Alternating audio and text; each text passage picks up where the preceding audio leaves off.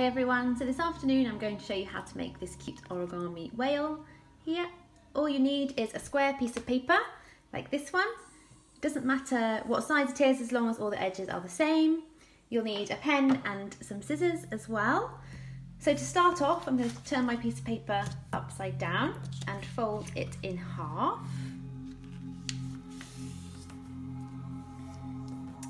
And open it back out again then I'm going to fold this corner here into the middle. Trying to make it as even as possible.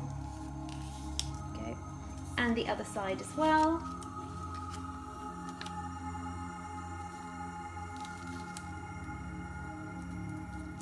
To make a nice kite shape. And then we want to take the top corner here and fold that down.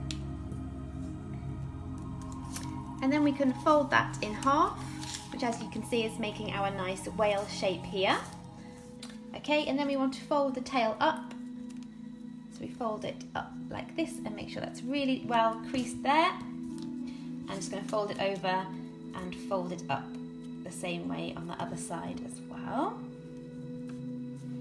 And then what I want to do is fold this out again and we're going to make this section here. So we fold, kind of fold it in and up like this.